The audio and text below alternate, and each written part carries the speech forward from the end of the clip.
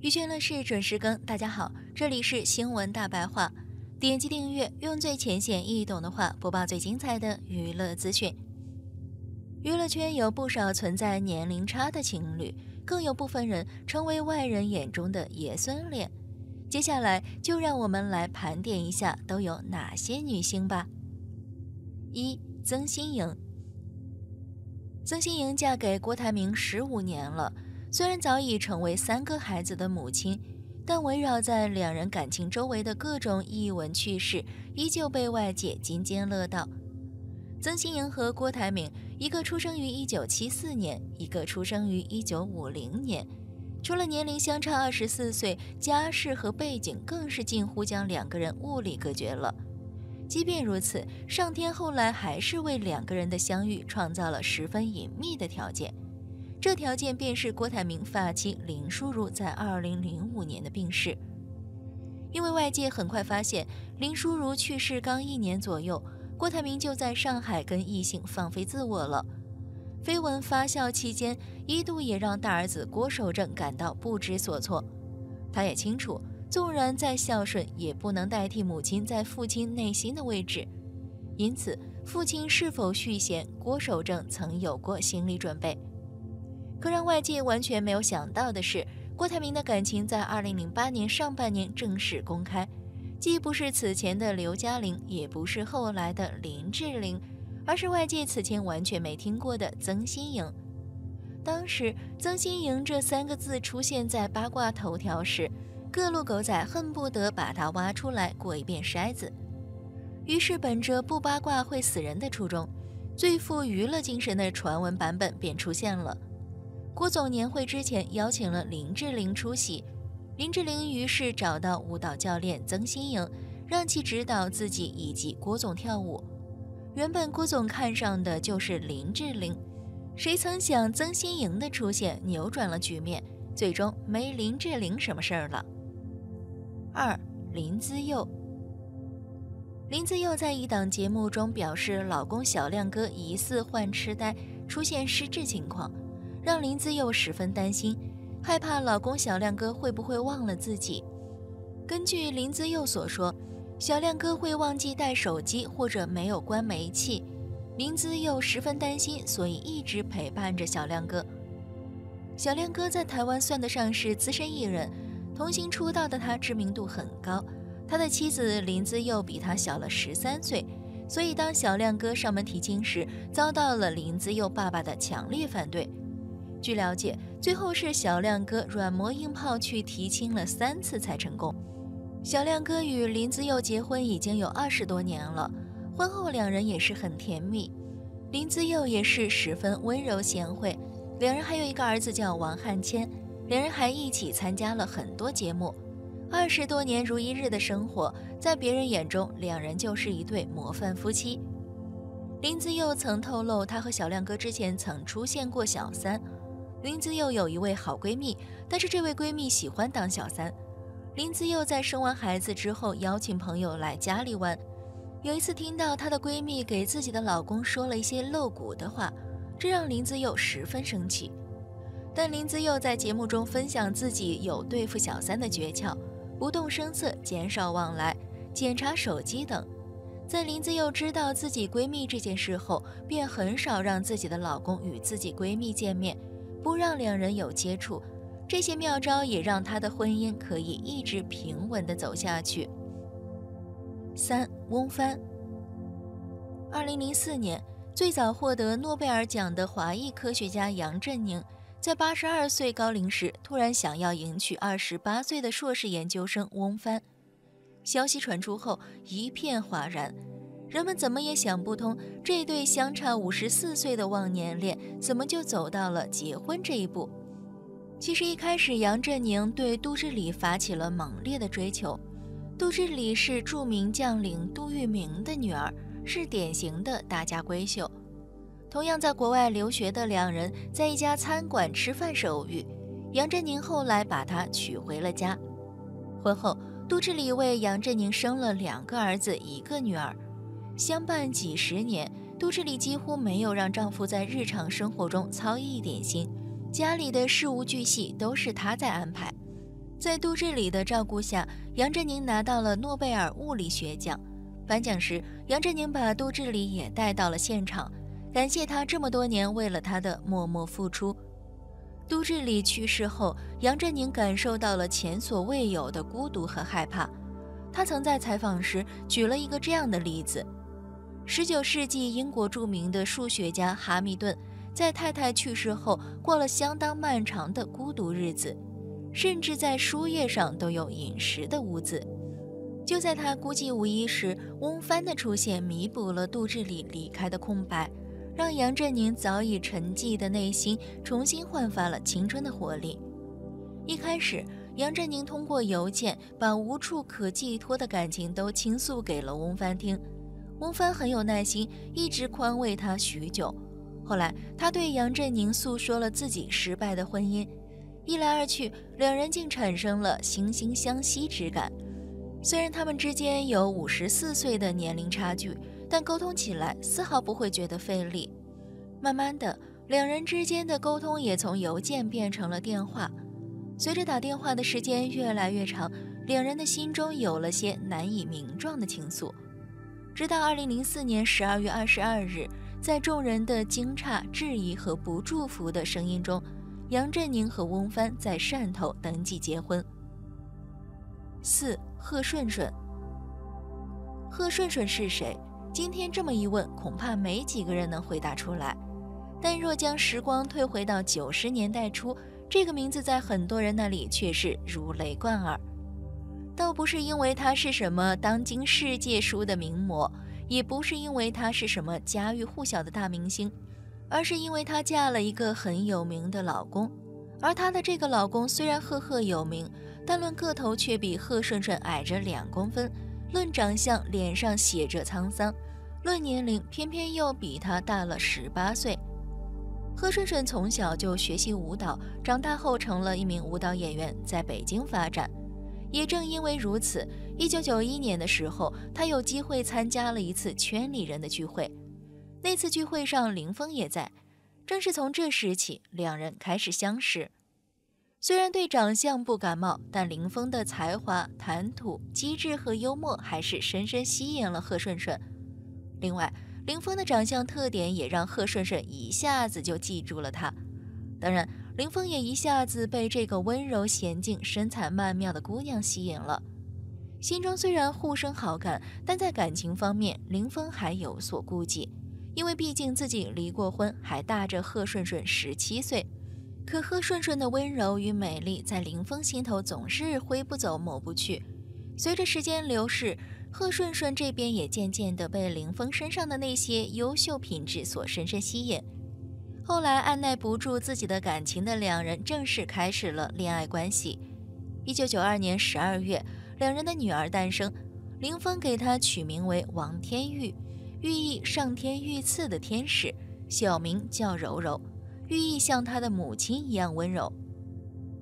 五梁安琪，梁安琪，她一九六零年出生在广州一个挺普通的家庭里，然而十四岁那年，父亲突然被查出胃癌，没多久就去世了，家里的顶梁柱倒了，生活艰难，梁安琪和母亲相依为命。从前，父母送梁安琪去学芭蕾，她经常跟父母闹别扭，哭诉练舞实在太辛苦、太疼了。可是没想到，如今跳舞也能够成为谋生的手段。更让梁安琪没想到的是，因为跳舞，她结识了改变她命运的何鸿燊。尽管已经六十五岁了，但何鸿燊看起来却一点都不显老。他精神状态非常好，有绅士风度，人也风趣幽默。跳舞之余，梁安琪跟何鸿燊聊起了家事。何鸿燊和梁安琪一样，都是童年家道中落，小小年纪不得不外出谋生，没有背景，没有依靠，做苦工养活自己。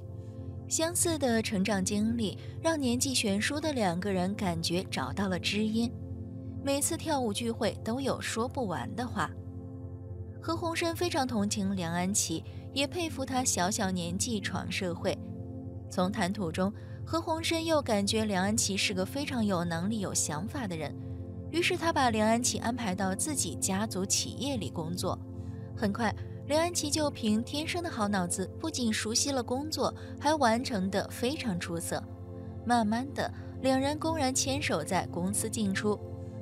梁安琪当然知道，大名鼎鼎的何鸿燊早就已经有了三任太太，于他而言，这只不过是一段露水情缘，却没想到何鸿燊是认真的。考虑了几天，梁安琪答应了。一九八九年九月份，何鸿燊在香港寿山村道买下一处面积三千平方英尺的豪宅，作为他和梁安琪的爱巢。六方圆。二零一七年四月十八日，五十二岁的郭富城和三十岁的方圆在香港半岛酒店举行婚宴，天王嫂的位置终于尘埃落定。郭富城是四大天王中结婚最晚的天王，同时也是四大天王中最风流多情的天王，风流韵事一箩筐。当初郭富城和名模熊黛林交往了七年之久，很多人都以为他们会修成正果，步入婚姻殿堂。谁也没有想到，最后嫁给天王的不是和他交往了七年的熊黛林，而是跟他在一起仅两年的方圆。二零一五年十二月一日晚，郭富城发文：“这样开车要慢一点”，并配上了他和方圆的牵手照，借此公开了自己与方圆的恋情。至此，天王嫂的位置由方圆接任。方圆之所以能接任天王嫂，背后的原因很简单。那就是来得早不如来得巧，他出现的时间刚刚好。此时的郭富城驰骋情场多年，玩也玩够了，开始羡慕别人儿女成群。他想要安定下来，好好享受家庭的温暖。恰逢此时，年轻貌美还善解人意，对他百依百顺的方圆出现了，一切都刚刚好。二零一七年，郭富城已经五十二岁了。作为最后一个女朋友的方圆，刚好赶上了天王想结婚的时候。这一年，郭天王终结了自己的浪子之路，娶了小自己二十二岁的嫩模方圆。七何傲儿。二零一四年，七十七岁的林建明和二十六岁的何傲儿被记者拍到一起看演唱会，在此期间，林二儿多次把头靠在林建明肩上。两人举止亲密，宛如热恋中的小情侣。由于年龄相差太大，何二儿被推上了风口浪尖，被诟病为父还债，不惜委身大自己五十一岁的老男人。因不堪流言蜚语侵扰，何二儿玩起了消失，不接任何人的电话，并表示希望媒体能够给自己一些空间和时间。何二儿消失后，林建明十分着急。以至于当记者问起他和何二儿的事情时，他二度落泪，并委屈表示：“二儿不接我的电话。”其实何二儿会选择消失也很正常，或许是因为不好听的言论太多，又或许是要面对这样一个头发花白的老男人，实在是心力交瘁，所以他才决定反抗，不想再受父亲摆布，委屈自己。他反抗的第一步就是消失。不再和林建明联系，反抗的第二步就是找一个和自己年龄相仿的男人谈情说爱，力证自己没有爷孙恋。二零一四年七月二十八日，何二儿被拍到与西贡帝王之子周子阳看戏游车河，还把车停泊在路边忘情激吻。七月三十日，周子阳承认与何二儿拍拖，爷孙恋的风波才因此告一段落。曾心莹，也许有人不知道曾心莹是谁，但她的丈夫你一定听过，他就是前台湾首富、身家百亿美元的富士康创始人郭台铭。郭台铭和曾心莹是在排练年会舞蹈时认识的。曾心莹虽然不是明星，但却对很多明星进行过指导，而且曾心莹的身材很好，所以还兼职模特、拍 MV 等，在圈内也算小有名气。郭台铭看到曾心莹的第一眼，便对她产生了兴趣，甚至有了把她娶回家的想法。虽然两人年龄相差了足足二十四岁，但在郭台铭眼中，再大的鸿沟都能用钱填平。很快，曾心莹就被郭台铭的行为所感动，彻底沦陷了。二零零八年中旬，郭台铭和曾心莹经过一年的相处，终于到了谈婚论嫁的时候。二零零九年四月，两人的第一个女儿出生后，此后几年，曾心莹又为郭台铭生下一儿一女。曾心莹也母凭子贵，坐稳了豪门太太的宝座。林姿佑，女星林姿佑在节目《单身行不行》透露，因为自己比小亮哥小了十三岁，当时年轻的她在谈恋爱交往时，很希望有少女谈恋爱的浪漫气氛。但小亮哥正值事业巅峰，工作繁忙，得刻意抽出时间才能约会，而且对方个性大男人主义，不时爱监控他。再加上小亮哥在房事上冷淡，一周仅缠绵一次，就算恩爱了也不温柔，更懒得做前戏。交往七年后，终于忍受不住爆发，打算交个年轻男友享受，便提出分手，斩断这段情。但小亮哥之后展开热情追求，两人很快复合并结婚，一年后生下小孩。林姿佑也透露曾被第三者插足。林姿佑有一位好闺蜜，但是这位闺蜜经常插足别人的感情。林姿佑在生完儿子之后邀请朋友来家里玩，有一次听到她的闺蜜给自己老公说了一些露骨的话，这让林姿佑十分生气。林姿佑也在节目中分享自己有对付第三者的诀窍：不动声色、减少往来、检查手机等。林志玲在大学期间，林志玲情窦初开，有了人生中的第一个男人。可大学一毕业，两人就分手了。二零零一年，林志玲和言承旭陷入了热恋之中。二零零五年，林志玲在拍摄广告时不幸受伤，言承旭得知女友受伤后的态度，这让林志玲感觉很失望。随后不久，两人就宣告分手了。与之相比，邱世杰得知林志玲受伤后。给予他足够多的关怀，两人就迅速陷入到了热恋当中。但两人没过多久就分手了。没过多久，林志玲就和设计师苏点中传出了绯闻，两人还拍了一组婚纱照。只是这一消息传出后，便再也没有了下文。除此之外，林志玲还和陈永泉传出过绯闻，但林志玲之母说他们父母相熟，而陈永泉和女儿并不是很熟悉。二零一一年，林志玲曾应邀出席台湾首富郭台铭在小年夜举行的宴会。当晚，作为特别嘉宾，林志玲与郭台铭还跳了一段热辣的探戈。很快，两人传出了绯闻。二零一八年，林志玲邂逅了日本男星黑泽良平，短短半年的时间不到，林志玲就高调的宣布结婚了。贺顺顺，贺顺顺嫁了一个很有名的老公，这个男人正是因一曲小丑唱红，因拍摄《八千里路云和月》被大陆观众所熟知的台湾知名艺人林峰。贺顺顺从小就学习舞蹈，长大后成为一名舞蹈演员，在北京发展。也正因如此，一九九一年的时候，他有机会参加了一次圈里人的聚会，那次聚会上林峰也在。正是从这时候起，两人开始相识交往。林峰虽然自己离过婚，还大着贺顺顺十七岁，但随着时间流逝，贺顺顺渐渐地被林峰身上的那些优秀品质所深深吸引。一九九二年十二月，两人的女儿诞生，林峰给她取名叫王天宇，寓意上天赐予的天使；小名叫柔柔，寓意像她的母亲一样温柔。一九九三年，两人正式宣布结婚。贺顺顺嫁到台湾后，并没有马上取得正式的台湾身份证，她不能在台湾参加任何工作。后来，贺顺顺贺顺顺用了半年多时间写了一本书，名字就叫《台湾媳妇大陆妹》。没想到一面试就赢得许多读者欢迎，在台湾卖了十余万册。梁安琪，一九八零年，二十岁的梁安琪去澳门找机会。她一天打四份工，白天做白领，下班后去赌场做公关小姐，教小孩子学跳舞。很快，梁安琪勾搭上香港地产富豪李宝春，两人暧昧不断。可惜好景不长，由于男方家长的反对，两人不得不分手。一九八六年。在朋友引荐下，梁安琪出席一场私人舞会。原本一场平平无奇的活动，却因为赌王何鸿燊的到来，彻底改变了他的人生。梁安琪抓住这个机会，看到独坐的何鸿燊，很快上前聊了起来，并成为对方的舞伴，跳得非常卖力。很快，梁安琪被何鸿燊安排在赌场当账房文员。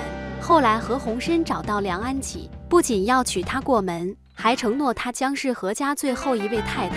一九八九年九月，六十八岁的何鸿燊和二十九岁的梁安琪宣布结婚。梁安琪被正式封为赌王四姨太，此时离他来澳门打拼。不过短短九年，婚后梁安琪一口气生了三男二女，稳住了自己的豪门地位。方苑，方苑出生于安徽芜湖的某个小村，十七岁时离开家去大城市上海，开始做公主梦。二零零八年。长相甜美的方苑还曾经参加过上海的沙滩宝贝大赛，以谋求进入娱乐圈发展。不过，虽然当时她的成绩还不错，但是也没有如愿成为明星。两年后，她发现做网红不错，于是于二零一二年登上贵州卫视的相亲类节目《非常完美》。在节目中，方苑承认自己非常花心，之前谈过六次恋爱，每一次都是需要男方包容。随后。方苑还推出了一套尺度很大的写真集，一下子获得了许多宅男的关注。后来他又带来了一组小野猫式的写真集，有传他正是因为到香港拍摄这组写真集时结识了天王之一的郭富城，但也有人说是因为方苑用自己做模特赚到的钱与人合资开店，因此结识了郭富城。但无论如何。方苑还是于二零一五年正式得到了对方的官宣，从此一跃成为天王嫂。在这之前，郭富城与名模熊黛林曾经痴缠七年之久，最终他留下一句鞋子合不合脚的言论，了结了此段感情。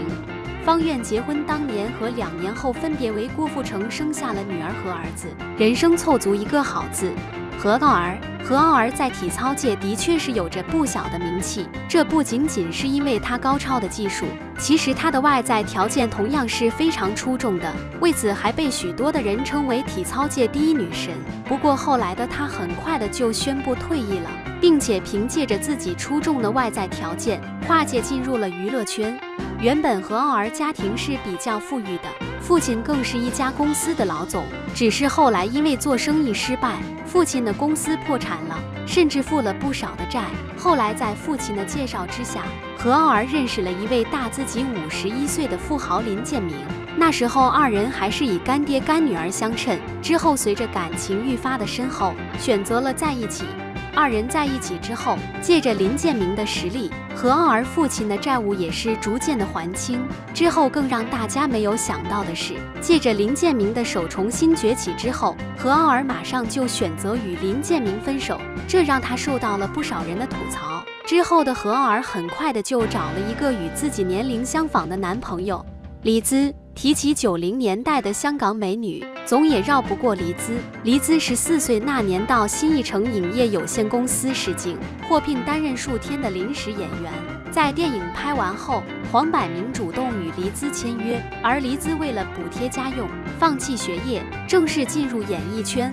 在拍摄了《开心鬼》《放暑假》《飞越羚羊》等影片之后，黎姿算是打开了自己的知名度。一九九零年完成舞蹈系课程后，黎姿重返娱乐圈，直到黎姿接拍《倚天屠龙记》，才算是真正意义上走进了观众的心中。